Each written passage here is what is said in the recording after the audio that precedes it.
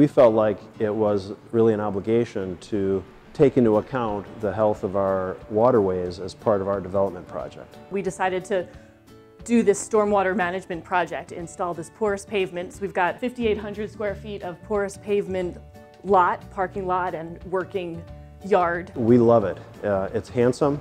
Uh, it's easy to maintain. Our staff and employees and visitors compliment us on it. Feels good to have done something that makes a positive impact on the community. And then we've got a lot of stormwater trees all in front of this building and then also in front of the building on Walnut Street. Overall, the whole project can manage about 21,000 gallons. We live on a great lake.